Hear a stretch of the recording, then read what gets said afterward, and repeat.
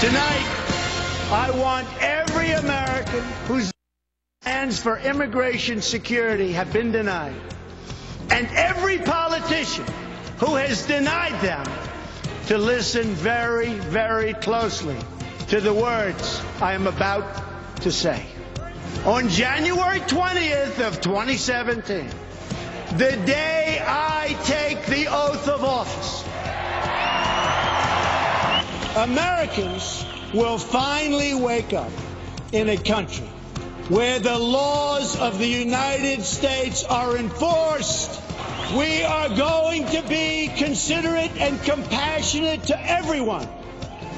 But my greatest compassion will be for our own struggling citizens.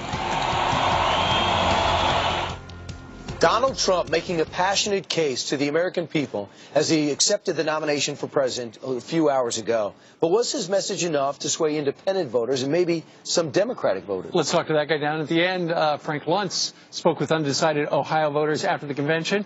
Are you surprised at what they had to say? I'm not, because the four days were the most effective destruction of the Clinton record over the last quarter century of anything I've ever seen. Really? Point by point, detail by detail, foreign policy, domestic policy, and frankly, integrity.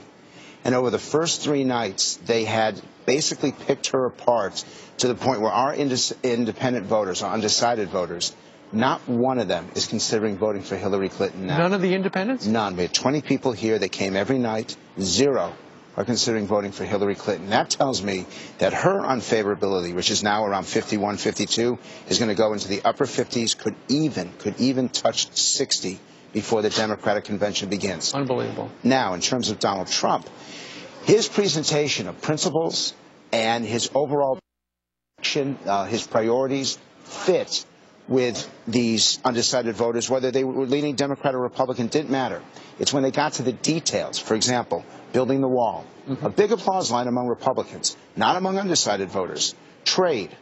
Big applause line, once again, among his base, not as much so among those who are, say, upper middle class. Mm-hmm. The details are holding him back but his delivery was the best that I've ever seen. Off prompter. His passion they responded to. Yeah. And they're all giving him another look. So when it was done, out of the 28 of them are supporting Donald Trump. Now, you sat down with the focus group and you asked them what they thought about the speech last night, and I think we have a clip of that. We'll yep. talk about it. Great. I came into this never Trump. I'm 39 years old. That was the best speech by a presidential candidate I've heard in my entire life. Ever. Ever. And I don't say that lightly because I've heard them all. You came in Bernie Sanders. I am now Donald Trump. I feel uh, patriotism. I feel completely safe. I feel that there's love of country. And with a, a leader like Donald Trump, okay, who believes in the people, the chaos in this country will turn to unity. You were never Trump. I was never Trump. I mean, you made the case against Hillary Clinton. She's damaged goods. Half of Democrats don't trust her. She's out for herself, and he's saying he's out for everybody. He's got a couple more months to reach out and really prove it. Right, and you mentioned he did mention Bernie Sanders a couple of times in the speech, so he's not giving up on getting the Sanders voters. And if you're over age 40, you absolutely are considering Trump if you're a Sanders voter because what I thought was the best line of the convention was Mike Pence. The idea that she wants to be the secretary for the status quo. That line affected, and it's, it's been lost, but that line affected our focus group. Unbelievable. Uh, we've got another clip from your chat with the focus folks. Here they are reacting to Hillary.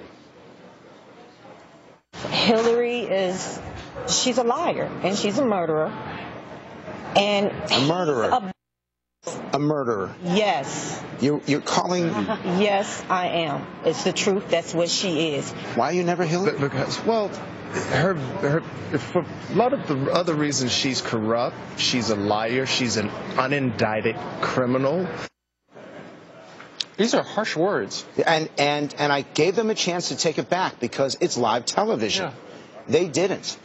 The segment that's going to determine this election is about 11%, and they are none of the above. They think that she's a liar, and they think that he's too filled with hate. And his speech and the convention convinced them that she doesn't have the integrity to be president. It's now over.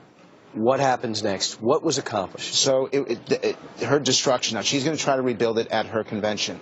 But I want to be very careful here. In 2012, millions of people thought that Mitt Romney was going to win on election night based on what they saw in the coverage.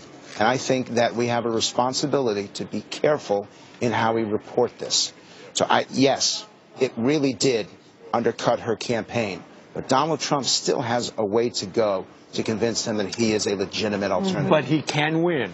Absolutely, he can win. And in fact, these debates, I predict, are going to be the most watched debates ever in American Right. history. I can hardly wait to see the ratings for last night. Oh, yes. Across everybody. All right, So Frank, much, thank you very much. Thank Great you. job All right. this week. Thank you.